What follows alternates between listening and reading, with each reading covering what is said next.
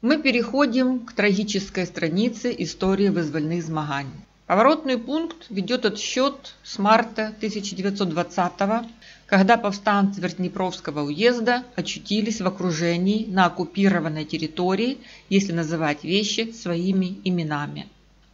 Что такое окружение? Это значит, что остатки войск ОНР оказались изолированными от линий снабжения и обеспечения, лишенными возможности подхода войсковых подкреплений и резервов, вывоза раненых и больных. Такая ситуация ставит командование окруженными войсками перед выбором – либо сражение насмерть, либо капитуляция. Но красные давали еще один выход повстанцам. Они объявили мобилизацию и предложили таким образом им перейти на службу в РККА. И многие перешли. Отказавшиеся были объявлены дезертирами. И что им оставалось делать? На оккупированной территории им оставалось либо, как говорит военная наука, сражаться насмерть, но теперь уже по правилам партизанской войны, либо скрываться от мобилизации.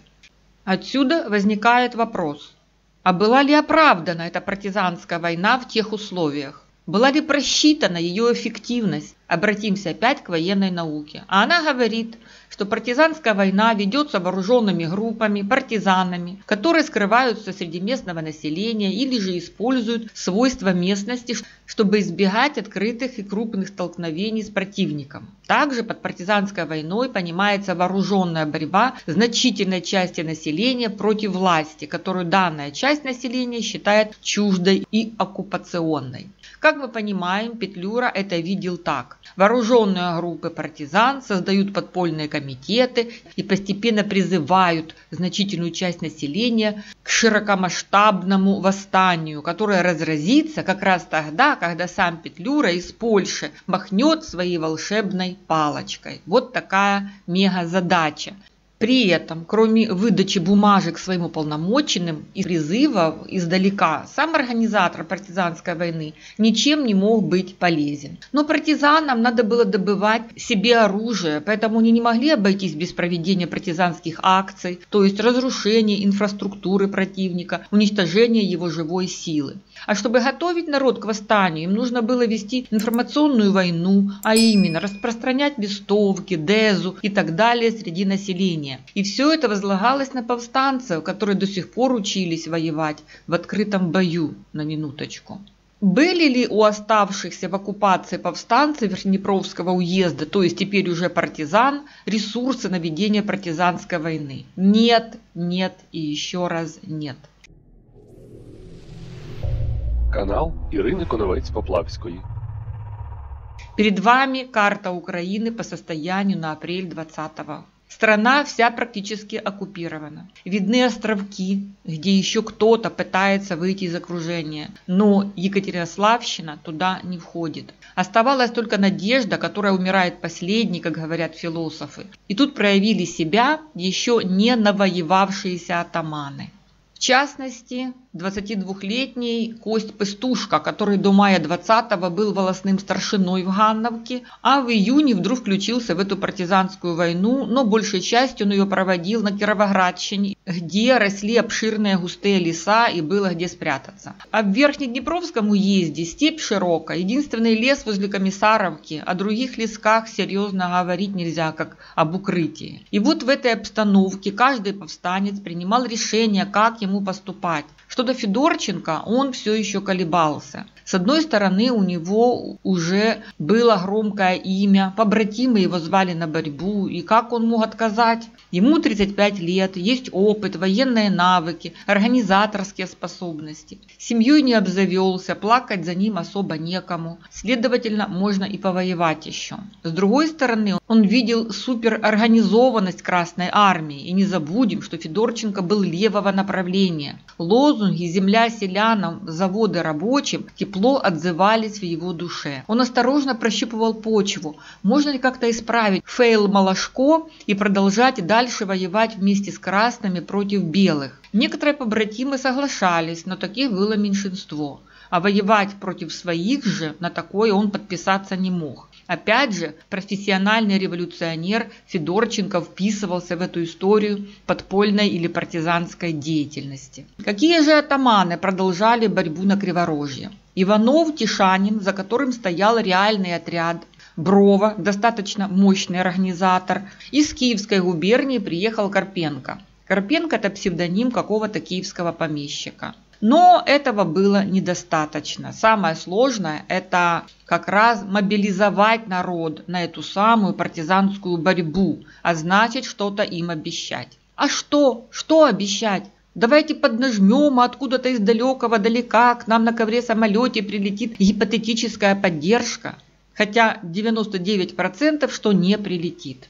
Иван наш подгорный полын хорошо описывает эти чувства среднестатистического патриота Украины. Он видел, что красных вряд ли уже выбьешь отдельными наскоками партизанских отрядов. Парень испытывал острое желание продолжать учиться или работать, ведь ему 19 лет всего, а он уже навоевался, все силы отдал борьбе за независимость Украины. Что я хочу этим сказать? Да, Бороться надо до последнего, но только в рамках тщательно разработанной операции по освобождению оккупированных территорий и при наличии серьезных союзников.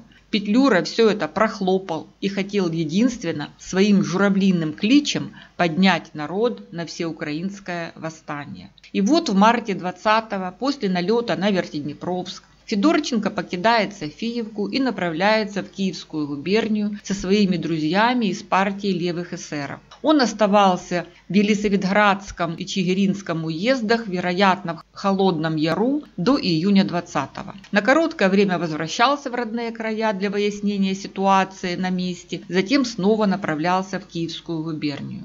Потом он в показаниях скажет, что в июне 20-го при наступлении поляков в Екатеринославской губернии вспыхнуло организованное Врангелем восстание, и группа украинцев левого течения, в том числе и он, приняли участие в ликвидации этого мятежа.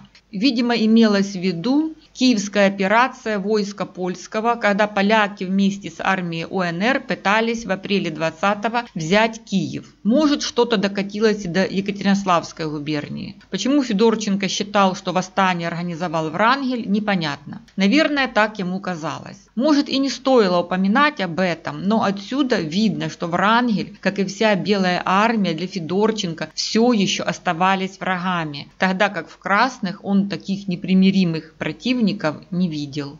В начале 20-го Карпенко ездил к Петлюре, и тот ему расписал в голубых красках, как ему действовать на оккупированных территориях. Организовать повстанческие комитеты, сельские, волосные, уездные, губернские и так далее. В каждом уезде сформировать курень, но пока ничем себя не проявлять. Относиться терпимо к милиции, продагентам и ждать отмашки об общем выступлении по всей Украине. Понятно, что никто это не собирался выполнять. Как можно добыть оружие, если сдувать пылинки с милиции и продагентов? И вот мы читаем в отчете Екатеринославская губчака. Возвратившись в июне 20-го от Петлюры, Карпенко созывает съезд, который происходит в Беловском лесу. Съезд имел целью организовать широкую сеть повстанкомов на Украине вообще и на Екатеринославщине в частности. По предложению Карпенко на этом съезде были распределены должности. Федорченко, который занимал видное положение в украинском повстанческом движении, со своим помощником Горященко и атаманом Песчаным отказался участвовать в движении, мотивируя это тем, что организация повстанкомов и неизбежное вслед за этим выступление отрядов окажет услугу Врангелю и подорвет Красный фронт.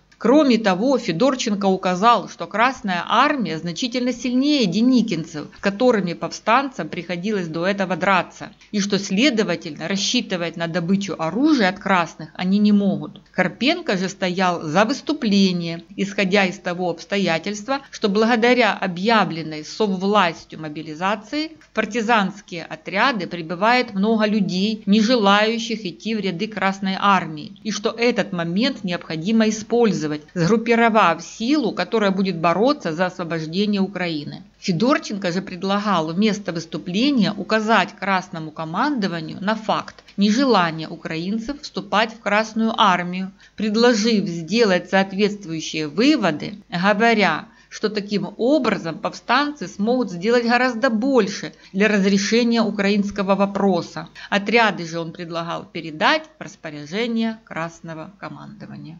Конец цитаты. Ну, вы поняли. С одной стороны, Федорченко пытался остудить Карпенко, потыкав его носом, что перед ними ставят нереальные задачи. С другой стороны, он подтвердил, что видит врага в белых, теперь уже во Врангеле. Вредить красным он не желает, а даже наоборот, готов им помогать и влиться в их ряды. Он думал, что если пожурить красных за их ошибки в проведении мобилизации, то ситуацию можно исправить. Такое чувство, что прорвалась затаенная душевная обида на Малашко, который прохлопал этот шанс и других за собой потянул. Федорченко надеялся, что сотрудничать с красными надо для того, чтобы прежде всего прогнать белых, а потом уже законно решать украинский вопрос политическими методами, добиваться созыва украинского учредительного собрания и автономии Украины. Федорченко с Горященко и атаманом Песчаным, видимо, и раньше это все обсуждали далее.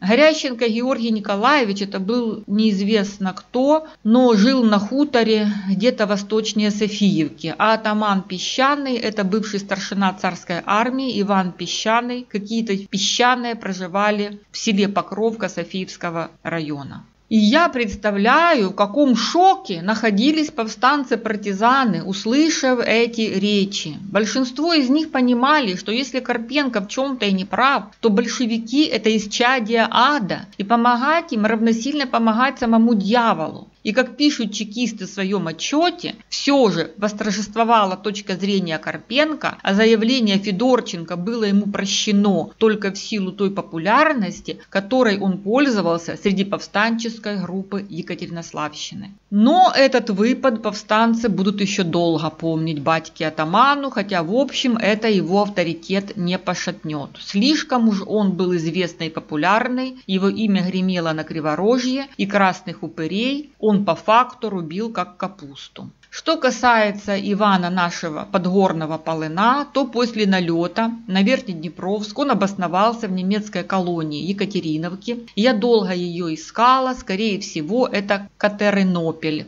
Поступил он там в милицию, 25 мая ему исполнилось 19 лет. Завел парень себе там девушек и все такое, и думал, что все позади. Иван был парнем дерзким, быстрым, рассудительным и нутром чуял, что красные пришли, к сожалению, надолго, и пока что противостоять им не представлялось возможным. И вот Иван Подгорный пишет. Но вновь надвигалась грозовая туча. Карпенко, Федорченко задумали поднять повстание. Была объявлена советской властью мобилизация и появились дезертиры. Меня и Старошко потребовали они на хутор Горященки. Мы поехали. На хуторе тогда я познакомился с Пухальским, который во время налета был больной. На этом хуторе нас расспрашивали о нашей жизни и о деньгах, которые запрятал Петренко. Мы рассказали о нашей жизни и что знали о деньгах. Так окончилось наше первое посещение. При этом же свидании Старошку было поручено разыскать деньги. Он ездил и на пятихатки, в кооперативы, и в село, но денег не нашел. С того времени Старошко и Федорченко начали готовиться поднимать повстание. Потом вроде все затихло, но Федорченко, Карпенко, Пухальский, Горященко опять заговорили о повстании. Я и Старошко стали прибывать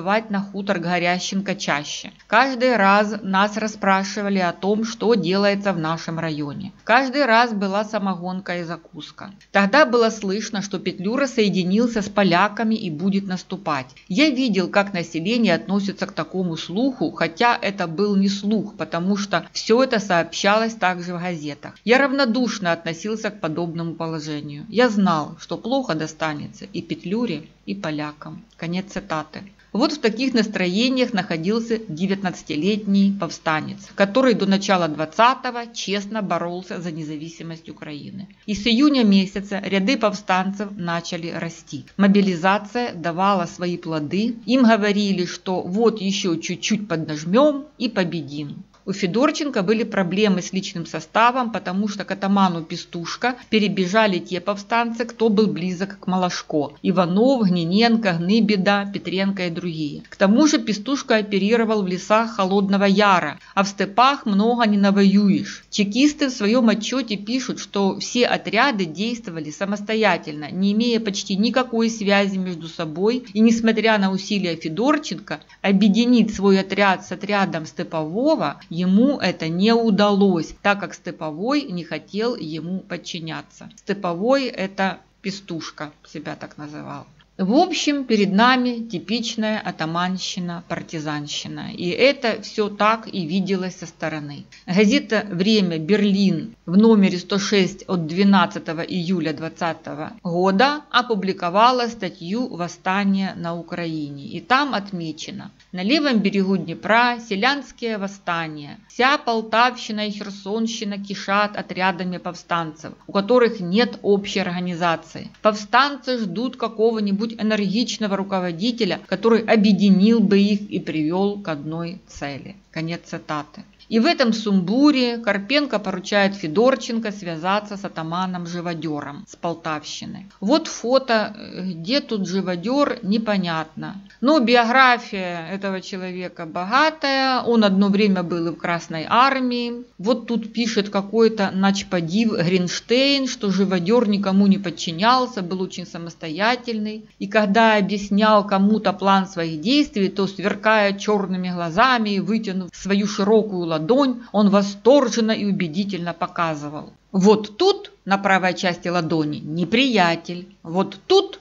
на левой части ладони, моя бригада. Тут артиллерия, там кавалерия, а я вот здесь и с силой захлопывал ладонь, показывая, как он всех их пристукнет. По этому поводу знающие его работники говорили, что живодер не особенно любит карту, он ей предпочитает свою ладонь. Теперь цитируем Полына. Тем временем Карпенко съездил к Петлюре и готовил повстание. Однажды Карпенко пригласил меня и Сторожка и сказал, чтобы мы готовились к повстанию. Я же, обдумав хорошенько, согласился. Я так думал, что из этого повстания ничего не получится, потому что и Петлюра, и поляки были уже далеко отогнаны. Но надеялся, что побродив по селам какой месяц, повстанцы разбегутся, а я снова буду иметь возможность находиться в колонии. Карпенко объявил себя главным полковником, Федорченко своим помощником, мне и Старошко сказал, чтобы мы набирали отряд повстанцев. Конец цитаты. В июле 20-го Полын связался с Яковом Барабашом, чтобы договориться с ним, как ему собрать отряд. Яков Прокопович Барабаш, мы о нем много упоминали в видео об атамане Малашко, был родом с Дружно-Надеждовки, Алферовской волости. Сейчас это село поглотила Лазуватка. И до Комиссаровского леса совсем недалеко далеко, как мы видим. Так вот, Барабаш сказал, что в лесу стоял живодер, у которого он был, и тот сказал, что имеет человек 30 повстанцев конных, и что уже два раза он делал налет на село Лыхивку. Уехав от Барабаша, Полын, увидав Федорченко, рассказал все, что слышал о живодере. Федорченко заинтересовался личностью живодера и поручил навести с ним мосты. Полын поехал в лес, сказал живодеру, что прибыл от Федорченко, а тот стал плакать своими пьяными слезами и просил, чтобы Федорченко дал ему помощь, что надо давно начать драться с советской властью. Чекисты в это время, 19 июля 20 пишут рапорт. По сведениям, в лазарете комиссаровского ремесленного училища находятся петлюровцы, проживающие в селе Саксагань. Полынь, Федорченко и Мирошниченко. Имея связи с Петлюрой, вышеуказанные лица на совещании с живодером в Комиссаровском лесу обещали последнему свою помощь оружием. Объединившимися бандами живодера Петренко и Полыня в количестве 500 человек совершен налет на село Вольные хутора, где в бою с нашей стороны убито 5 красноармейцев и начальник второго района. Бандиты, захватив 5 лошадей, ушли в Комиссаровский лес. Теперь цитируем, как описывает налет на вольные хутора Иван Подгорный Полын. На заре приехали в колонию Екатериновку. Отдохнули день и вечером я, Старошко, Палагута поехали к Федорченко, который был на хуторе у Горященко. В результате этого свидания Федорченко сказал мне, чтобы я собрал сколько имею повстанцев. Но повстанцев у меня было очень мало, те, кто был в колонии только. На комиссаровских же я и не имел надежды. Тогда Федорченко сказал, чтобы я попробовал собрать повстанцев в селе Любимовке и сказал, что он шлет им приказ. Но повстанцы Любимовки не пошли ко мне, хотя Федорченко и приказал. Они говорили, что меня не знают и, видимо, мне не верили. Дня через 3-4 мы отправились к живодеру в лес. Отправился я, Старошко, Палагута, Федорченко, Кылымов, Антон Пляшник и еще повстанцев пять. Ехали целую ночь и только к утру прибыли к нему. Прибыли как раз тогда, когда живодер уже был в дороге. Он ехал со своим отрядом в налет на село Вольные хутора.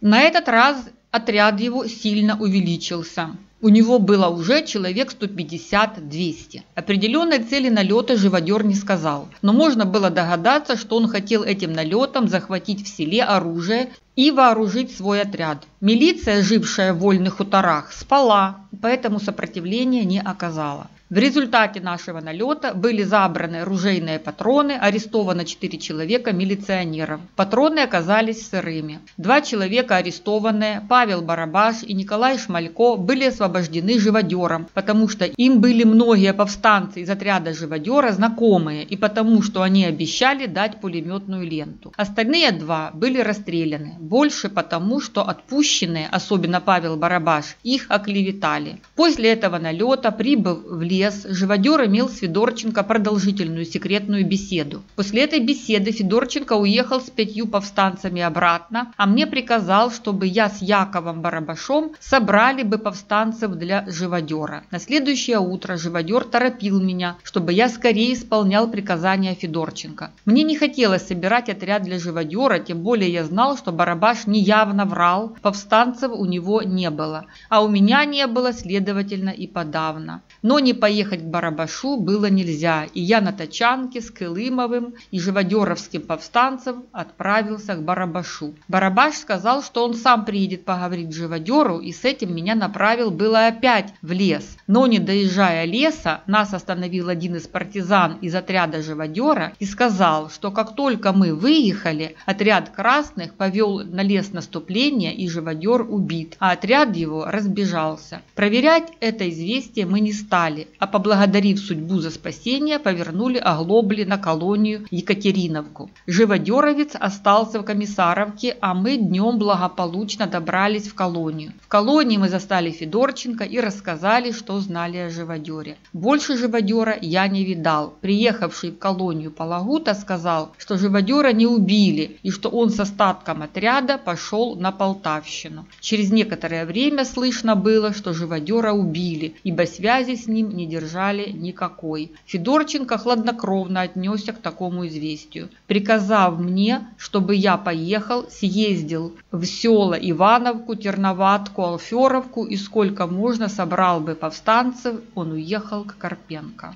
Я поехал в названное Ивановку и Терноватку, собрал хлопцев и объявил свое намерение. Собрались все в Тарноватке, и на этом собрании, кажется, присутствовал Рой и еще интеллигент какой-то. Они на собрании молчали, ни слова не говорили, и только после собрания угостили меня медом. Хлопцы сперва согласились, но когда надо было садиться на подводы и ехать, то поехали только 9 человек. 4 человека из Тарноватки и 5 из Ивановки. На этом же сборище я познакомился с Иваном Долгим. Со мной приехало 5 человек и пристало 9. Таким образом, образом у меня составился отряд в 15 человек. С этим отрядом я поехал в село Шелухово, а оттуда через колонию Екатериновку в село Любимовку, где назначено было общее собрание. В селе Любимовке уже были повстанцы под командой Карпенко и Федорченко. Повстанцев было человек 100. Постояв день, к ночи Карпенко и Федорченко со своим отрядом выехали в хутор, который около села Беловки. Мне же сказали стоять в Любимовке. К этому селу через два дня прибыл Горященко, Пухальский, и с ним ним около 150 повстанцев. К вечеру мне был дан приказ, чтобы я с отрядом приехал в село Купянщину.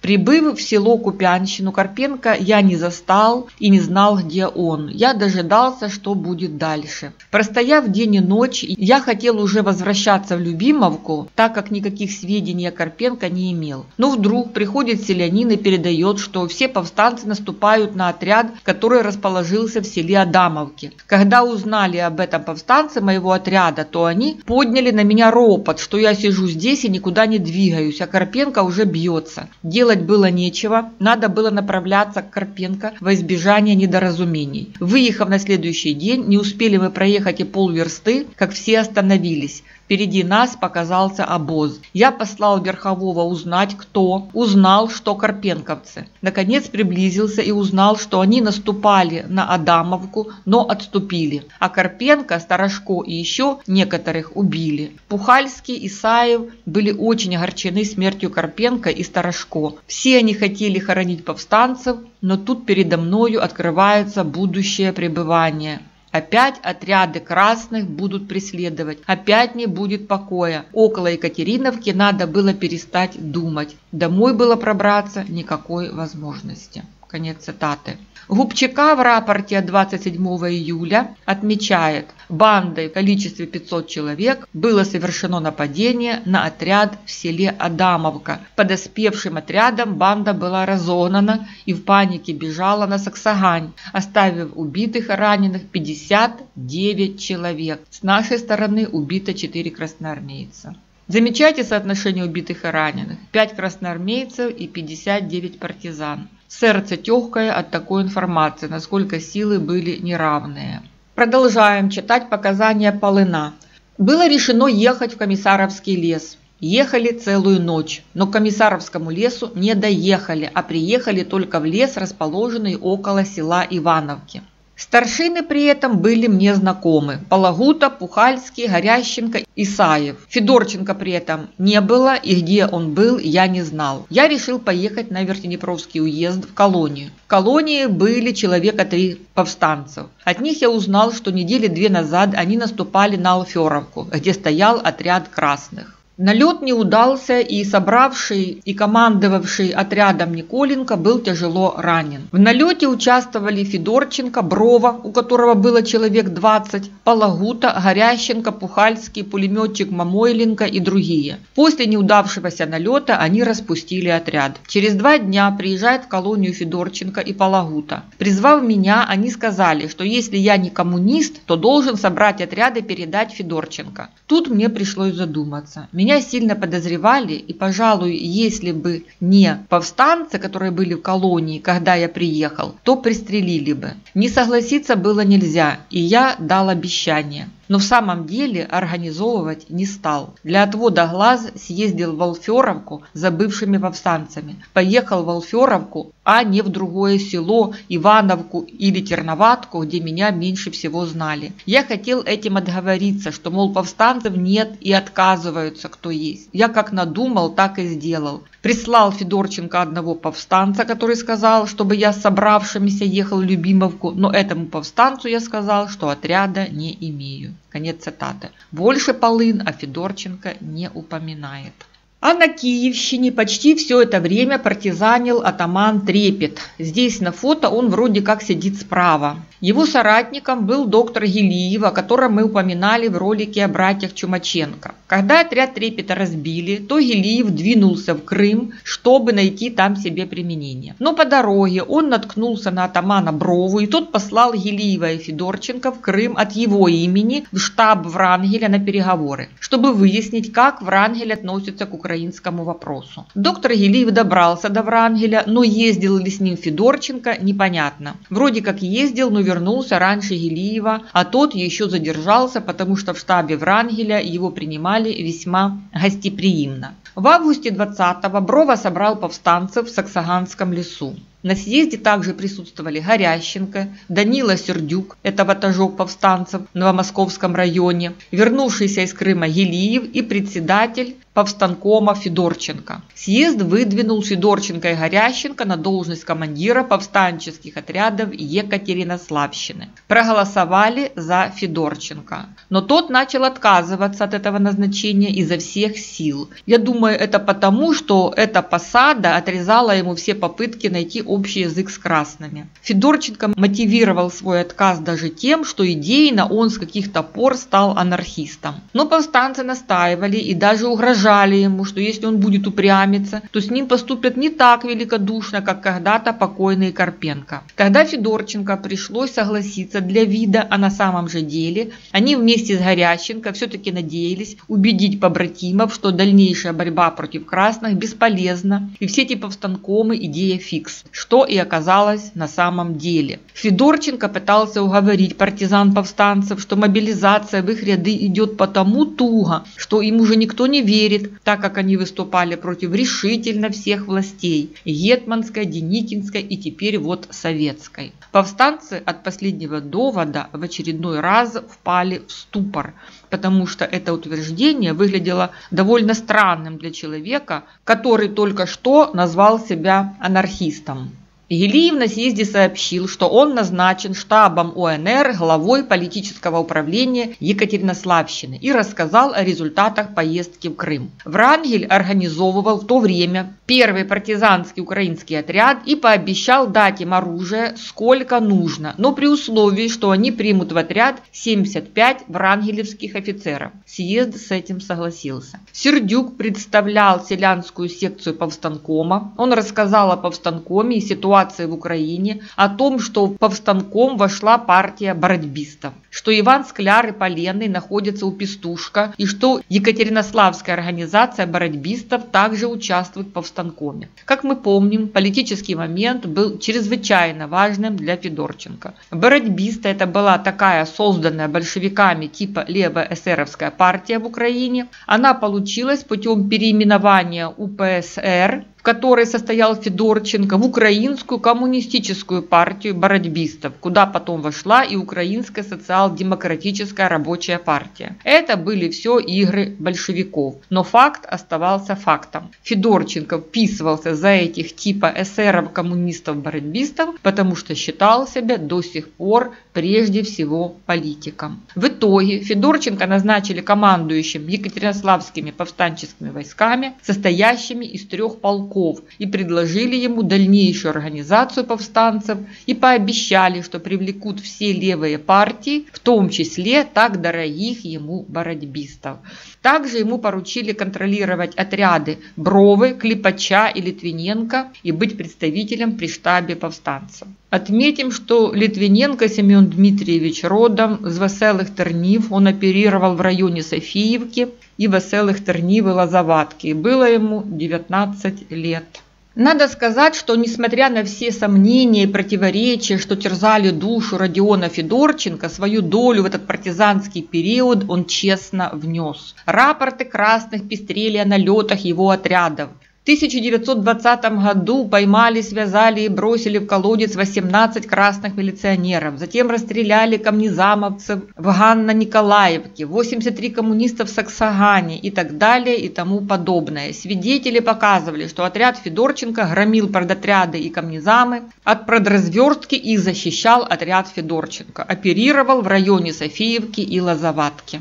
В докладной записке о политическом состоянии крестьянства в Украине в связи с ликвидацией кулачества как класса на имя Орджоникидзе ГПУ отмечала, что село Софиевка и часть района были переходным этапом махновских банд. 28 июля 1920 отряды Федорченко и Чирвы разобрали путь между станциями Кудашевка и Милорадовка. Ходили слухи, что за короткий период Федорченко собрал армию в 10 тысяч человек, три полка. Организация проходила через Брову, Литвиненко, Горященко Георгия Николаевича, Ивана Клепача и Скляра. Мне кажется, что эта цифра сильно преувеличена, как и отряд пестушков 20 тысяч. В других источниках говорилось, что это были три центровых сотни, а также две дополнительные, то есть всего 500 бойцов. Потом все будут так и называть этот отряд Карпенко-Федорченко. Все это время Федорченко неоднократно в письмах упрекал Гелиева, что тот присылает к нему каких-то мелкотравчатых представителей политпартий и требовал послать кого-то, кого он знает лично. Но Гелиев так никого ему и не направил. Тогда у Родиона закралась мысль, что его просто обманули.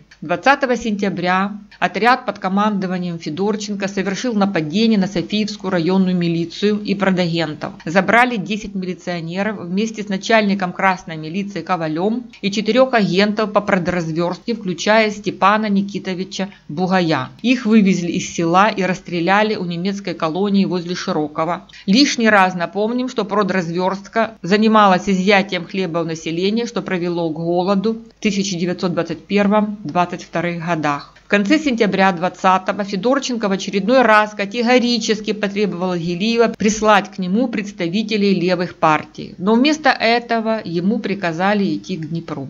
Планировалось, что первый украинский партизанский отряд Врангеля переправится через Днепр у села Беленькое, соединится с отрядом Федорченко и все они двинутся вглубь Екатеринославщины, чтобы объединиться с другими повстанческими отрядами и разрушить красные тылы. И вот Федорченко вместе с Бровой и Литвиненко повели свои отряды к Днепру на место встречи у села Беленькое, куда им планировали доставить оружие с левого берега Днепра от Врангеля который занимал тогда левый берег Днепра. Врангелевские 75 офицеров с 15 пулеметами, 400 ружьями, 1000 бомбами и миллионом патронов должны были переправляться через Днепр и на правом берегу в селе Беленькое встретиться с украинскими повстанцами. Также там ждал встречи Елиев в селе Плавни напротив Беленького вместе с Мелитопольским Куренем из 100 человек атамана Семенько и 75 врангелевцев под командованием Григория Грудины, не дождавшись Федорченко, были вынуждены 27 сентября наступать на Беленькое. Грудина Григорий Емельянович, кстати, был весьма интересным человеком, начальником дивизии армии УНР. Считается, что полковник Грудина стал прототипом большевистского разведчика в личине белого штабс-капитана Чечеля в фильме «Свадьба в Малиновке». Грудина должен был проследить, чтобы оружие использовали именно против большевиков, а не повернуто против белой армии, как того справедливо опасался Врангель, как мы это уже поняли. Но по дороге к селу Беленькое случилось то, что случилось. Навстречу отряду Федорченко двигался большой продотряд красных из Никополя на Екатеринослав вдоль Днепра. Что было дальше, мы знаем из воспоминаний участника тех событий Миколы Гайдая который он, к счастью, нам оставил. И случилось это возле другого моего родного села во Вниге, откуда мои предки по отцовской линии. Вот такие перипетії судьби. Микола Гайдай згадує, якось ранком у кінці вересня місяця 20-го року Катернославський кіш наближався до Вовнігів, щоб переправитися через Дніпро. Змучені хлопці дрімали, сидячи на конях, бо перед цим був бій з червоними і 70-верстовий перехід. У цей час у Вовнігах розташовувався полк курсантів, а у Башмачці 3 тисячі червоних. Фронт 15 верст позаду. Тільки но почали спускатися у балку, аж раптом назустріч 20 вершників з 35-го будьоновського полку. Кінотників легко обезброїли і пішли далі. Стало дужче розвиднятися, а над Дніпром почав підійматися туман. Та коли залізли на горба, то натикнулися на майже дивізію червоних. Прапорів ні у кого не було. Отаман Федорченко наказав перебудуватися. Тачанки з кулеметами і кінота Катернославського кошу виїхала наперед і стала в каре, а тачанки з пішими та друга частина кіноти почали спускатися вздовж балки у лісок, що доходив майже до самих вовнігів. Все б може якось обійшлося, та один з червоноармійців побачив схований на тачанці жовто-блакитний прапор. Ворог зрозумів, з ким має справу, і кинувся лавою. Повстанські тачанки відбили першу атаку, і настала тиша. Та хвилин через 15 червоні почали бити з боків. Повстанці не знали про будьонівців, що стояли у трьох верстах у бік фронту, і почали з боєм отходити до села. Отаман наказав братам Г, ймовірно, брати горобці Воробйови з Катеринослава, продиратися скрізь лаву червоної піхоти, йти вздовж Дніпра до Дубового острову. Друга частина відступала до Вовніїв. Вперед надіслали чотири тачанки з кулеметами і сотню кінних.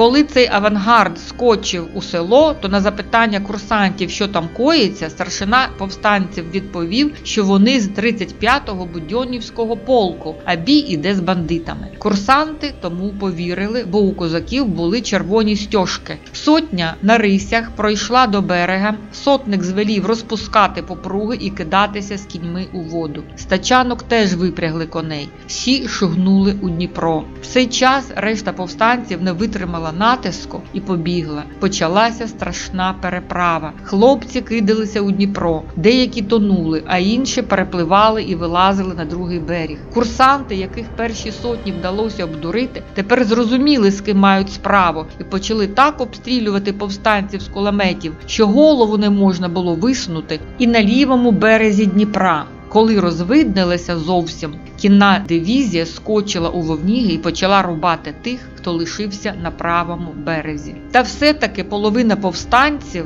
переправилися на другий берег Дніпра і опинилися у стані білих. Мокрі і знесилені, вони рушили далі. Лише на другий день п'ятеро з тих, що лишалися з учора у вовнігах, приєдналися до уцілілих і розказали, що сталося з їх побратимами.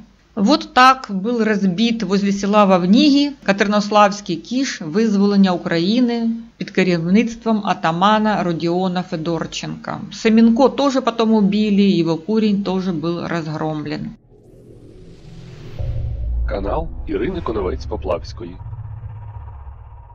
1 октября 2020 года Федорченко узнал, что дорогие его сердцу бородьбисты так и не вошли в Екатеринославский губернский повстанком. И на следующий день он отправляется в Крым вместе с остальными повстанцами. Он там искал Гелиева, чтобы разобраться, зачем он его дурил. Но Гелиев уехал в Севастополь с докладом к Врангелю. Белая армия начала отступать. Грудина ушел в горы и там пропал без вести. Как-то после совещания на обеде атамана в октябре 20-го, выпив немного самогона, Родион Федорченко расслабился и начал громко разговаривать, размахивать руками и выплескивать из себя все то, что накипело на душе и не только у него, о его разочаровании Петлюрой как военно-командующим. Размахивая руками, он приговаривал «Ти, Симоне, недобре робиш, треба було не так, а от так, не туди вдарити, а туди». В Софиевке ничего определенного об атамане Федорченко сказать не могли. Одни считали, что его убили, а другие, что атаман будто бы уехал за границу. Что касается степового блакитного, как себя называл Пестушка, тот вообще от всех предложений белых о сотрудничестве категорически отказался. В ноябре 20-го он издал приказ о демобилизации своей степовой дивизии до лучших времен. Так завершилась трагическая страница вызвольных змагань и к ужасу нашему еще не последняя. Петлюра все еще никак не мог угомониться со своей идеей фикс всеукраинского восстания. Это обычно так бывает, если лидер далек от реальности и живет в своем мире. Ему всех этих жертв партизанской войны было недостаточно. Это был какой-то необучаемый человек. И чекисты этот момент уловили. Ты еще не наигрался? Хочешь еще жертв? Ты их получишь. Нам как раз надо добить твои партизанские отряды. Тот, кто нам мешает, тот нам и поможет, сказали чекисты и стали скрупулезно разрабатывать свою дьявольскую операцию. И вот в начале декабря приказом номер 73 по главной управе Генерального штаба армии ОНР создается отдел повстанческих организаций в составе пяти человек во главе с каким-то подполковником Зейргошем.